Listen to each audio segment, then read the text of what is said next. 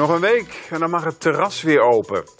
En als je als horecaondernemers de handen ineens slaat, dan heb je een veel groter terras.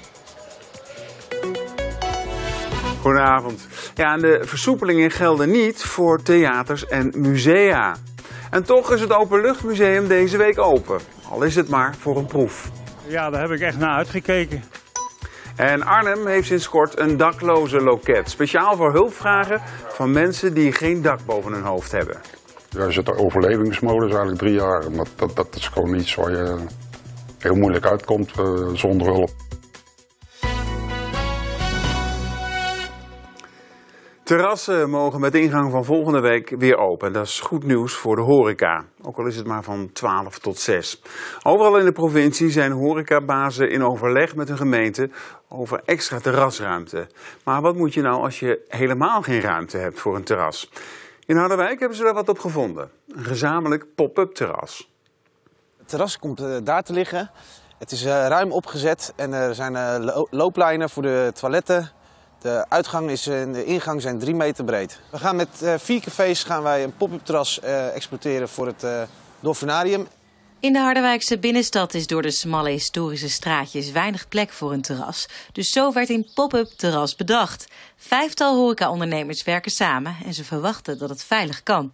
Niet bang voor een coronabesmetting? Nee, ik denk dat in de buitenlucht bewezen is dat de kans op besmetting nieuw is. Nieuw is dit keer een soort foodtruck of huisje naast de terrassen. Ja, we hebben wel weer eh, zin in een lekker een beetje positiviteit en eh, lekkere hapjes te kunnen maken. Maar het nachtleven dat zal nog lang niet op gang komen vanwege de nog strikte coronaregels. Ja, dit is wel echt eh nachthoreca. En eh, ik denk dat het wel over de zomer heen gaat en de anderhalve meter er eerst af moet voordat het hier weer normaal is. Wat betekent dat voor jullie? Eh, geen omzet halen en eh, door dit eh, pop-up terras kunnen we, kunnen we toch wat omzet genereren. Of het pop-up terras er komt is nog afwachten. Er is nog geen vergunning verleend door de gemeente Harderwijk. Dat vind ik enerzijds niet zo heel erg, want de eerste versoepeling dat is maar met, eh, met eh, 25 tafels, maximaal 50 mensen. En eh, dat- dan kan je ook nog niet zoveel omzet maken. De horecaondernemers hopen dat het lukt en dat de inwoners het ook een goed plan vinden. Op het eh, pop-up terras en laten we hopen dat hij er gauw gaat komen. Proost. Ja, de versoepelingen in de winkels gaan eigenlijk ook pas volgende week in. Maar in meerdere Gelderse gemeenten kon je afgelopen week al winkelen zonder afspraak. Met een speciaal shoplicht kan het winkelend publiek zien of er nog plek en ruimte is in de winkel om even spontaan te shoppen. Staat het bord op groen, dan kan er nog iemand bij en draait de winkelier het bord op rood. Dan moeten er eerst een aantal mensen uit de winkel voor er weer iemand in kan. Even naam en telefoonnummer opschrijven en het winkelen kan beginnen. Ondernemers zijn in elk geval erg enthousiast.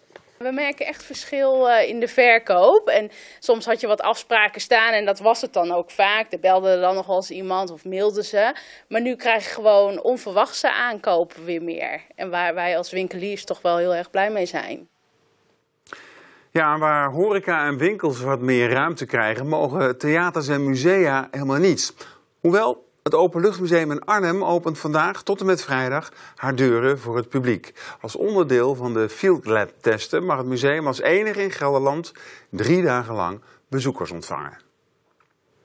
De tram rijdt weer in het Openluchtmuseum in Arnhem. Dat er drie dagen lang bezoek mogelijk is, doet goed. We zijn heel erg blij eh, dat we vandaag weer eh, publiek mogen ontvangen. Zij het eh, dat het niet de gewenste omstandigheden zijn, maar eh, het is eh, weer een stapje de goede richting op. Nou, ik vind het heerlijk. En het is nog mooi weer ook. Lekker weer, voor het eerst weer open. Heerlijk. Ja, daar heb ik echt naar uitgekeken. Het is wel heel leuk om zo'n uitje te kunnen doen. Toch staat niet iedereen te springen om te komen. En dat blijkt uit het feit dat er vandaag maar 400 mensen gereserveerd hebben. Daar waar er 2500 bezoekers mogelijk zijn. Ja, eh, het is toch een blokkade, het testen. En dat, dat, dat merken we gewoon. Dat eh, bezoekers wat eh, terughoudend zijn om te gaan eh, reserveren. En dan zeggen, ja, we moeten toch nog een keer een extra test eh, doen daarvoor. En eh, ja, dat, eh, dat eh, wordt niet echt prettig ervaren. Het is nu eh, bijzonder rustig. Klein beetje eh, een maandagmorgen, zou ik maar zeggen. We rijden zo met drie trams als het goed is. Dus eh, ja, dat is jammer dat je weinig mensen hebt. Voor de mensen die zijn gekomen is het testen een kleine opoffering voor een grote beloning. Testen is vervelend, maar daar krijgen we er dit voor terug. Hè? En op welke manier zie je nou het park het beste? Ik ben bang de hele dag in de tram. Hè? Toch? Ja.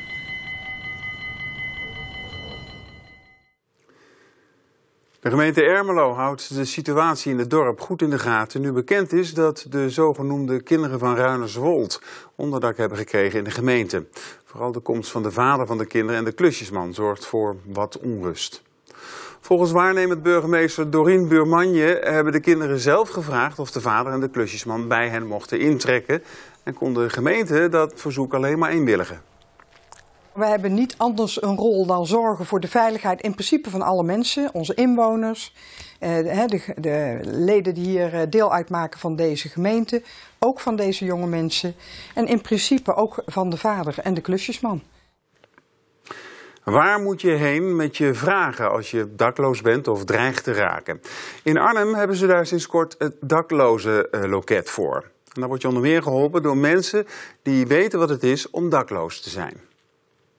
Ik ben 15 jaar geleden uh, op straat beland door overmatig drank- en drugsgebruik. En uh, ik heb daar twee, drie jaar mee rondgelopen dat ik hulp gezocht heb. Daar kan iedereen overkomen eigenlijk. Je zit in overlevingsmodus eigenlijk drie jaar. En dat, dat, dat is gewoon iets waar je heel moeilijk uitkomt zonder hulp. Die hulp moet in Arnhem nu vanuit het dakloze advieskantoor komen. In de hele stad zijn er allerlei plekken waar mensen terecht kunnen voor hulp en voor advies. Uh, en wat we hier doen is dat we die, uh, al die voordeuren, zal ik maar zeggen, bij elkaar brengen. Op een plek waar mensen binnen kunnen wandelen en waar we in een soort van huiskamerachtige setting ja, mensen ontvangen en uh, op hun gemak stellen. En daarna met hen in gesprek gaan over wat zij nodig hebben. We hebben onze eerste bezoekers al gehad. Het dakloze loket is opgericht omdat volgens de wethouder de doelgroep daar zelf behoefte aan heeft. Wat belangrijk is, is dat de drempel heel laag is. Dus dat mensen hier met allerlei soorten vragen binnen kunnen komen. En als het een huisvestingsvraag is, uh, zou het ook kunnen zijn dat we die snel kunnen oplossen en daarmee uh, ja, dakloosheid kunnen voorkomen. Het loket is in eerste instantie een proef voor een jaar. Daarna wordt de effectiviteit geëvalueerd. Maar volgens Ab moet dat wel goed komen kunnen we makkelijker levelen met mensen. Zeg maar. Vanuit de instanties uh, denken zij vaak, hebben ze negatieve ervaringen mee. En wij, wij, proberen het ook duidelijk te maken dat, uh, dat dat niet altijd zo is. En dat, dat, dat we een goede samenwerking daarmee de mensen op de goede manier kunnen helpen. Zeg maar. De mooiste theaterkleding hebben ze hangen bij Introdans. En iedereen kan het nu kopen, want het dansgezelschap houdt een grote veiling. Neem nou dit balletpakje van prinses Margriet. Dit is natuurlijk een unieke kans om te bemachtigen. De 34-jarige man die maandag in Lunteren met zijn shovel een persfotograaf belaagde, wordt verdacht van poging tot doodslag. Er zijn nu in totaal drie verdachten aangehouden. De overige twee verdachten uit Barneveld en Lunteren worden verdacht van bedreiging en openlijke geweldpleging. Een 55-jarige man uit Lunteren is vandaag opgepakt.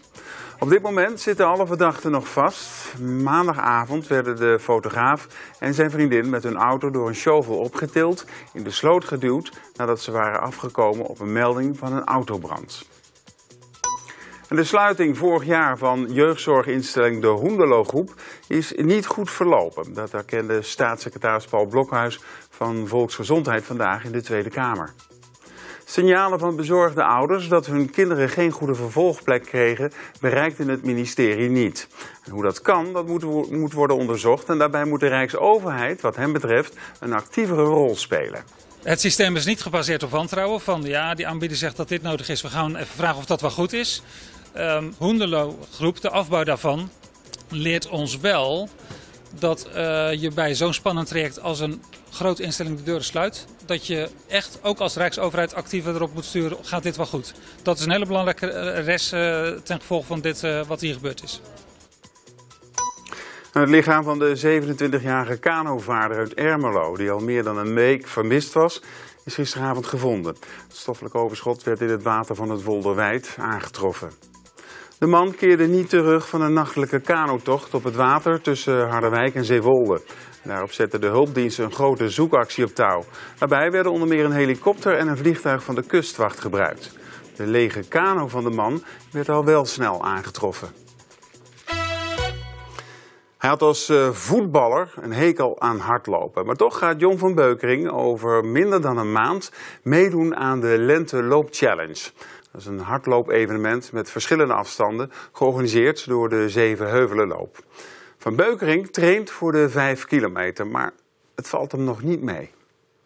Hardlopen is nooit de passie geweest van John van Beukering. Zeker niet als uh, Edward Sturing uh, of iets uh, in je groep meeliep. Want ja, die liep volgens mij de marathons liep hij nog in nieuwe recordtijden.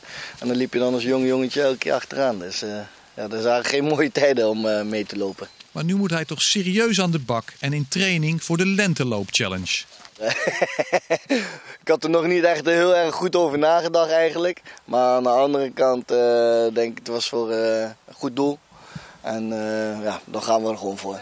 Maar echt lekker gaat het nog niet met de ex-voetballer. Nou is het tijd voor een sportmaaltijd, Jan. Gaan we lekker even hier bij het Matsers Café even. En zo vult hij dat in. Want als voetballer had hij niet voor niets de bijnaam Johnny van de Burger King. Ah, dat doet me niks mee, Jan. Weet je, dat heb een, eenmaal uh, iemand in de wereld geroepen. En uh, het, het, het zei zo. Kroketjes ook wel lekker, hoor. Met haar vijvers en singels is Zutphen een walhalla voor ganzen. Maar de aantallen blijven maar groeien en de dieren veroorzaken overlast. En daarom gaat de gemeente er nu iets aan doen. Poep op de stoep. Luidruchtige kwaak en gevaarlijke situaties op de weg. Vooral rondom de vijvers in de stad zijn Zutphenaren klaar met de gans. Nou, er zijn mensen die er bang voor zijn. Die echt uh, ziet dat ze een ommetje maken, zeg maar.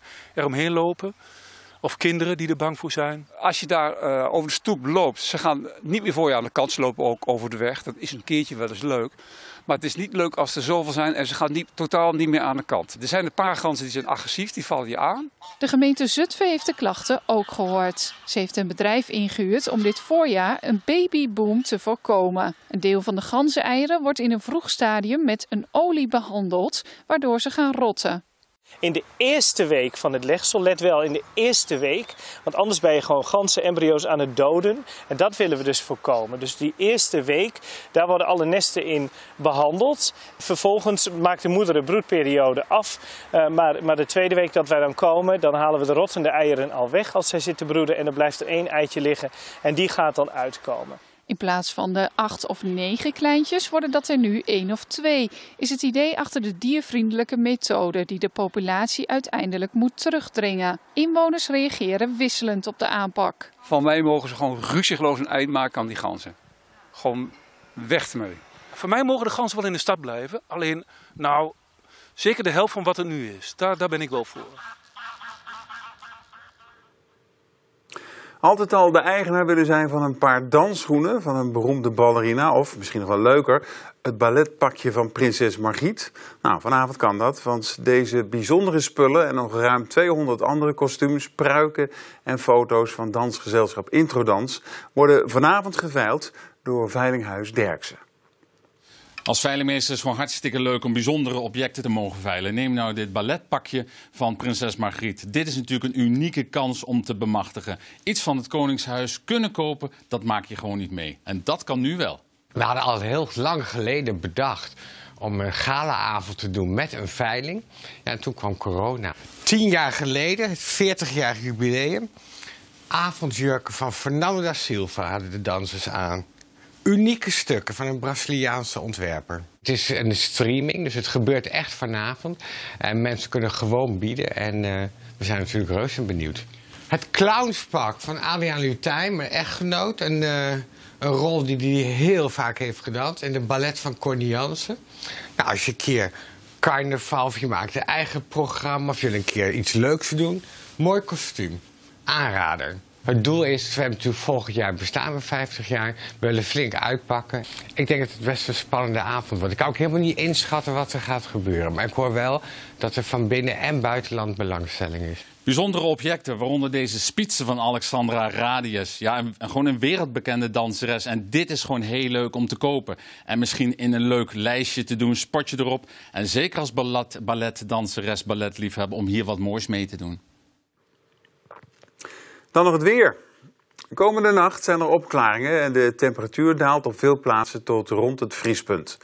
Op beschutte plekken kunnen enkele mistbank ontstaan. Morgen dan zijn er zonnige perioden. Het is fris voor de tijd van het jaar. De maxima komen niet hoger uit dan een graad of 12. En daarbij staat een matige noordelijke wind. Kijken we nog even vooruit. Ook vrijdag en in het weekend houdt het vrij koude voorjaarsweer aan. Geregeld schijnt de zon En het blijft droog. Overdag wordt het ongeveer 12 graden. En in de nachten vriest het lokaal licht. En dit was het Gelders nieuws. Op onze app en onze site vindt u onder meer een verhaal over hondentrimmers. Die komen namelijk tijd tekort. Zoveel aanvragen krijgen ze voor een knipbeurt voor de hond. Over het waarom leest u alles op gld.nl. Ik wens u nog een fijne avond.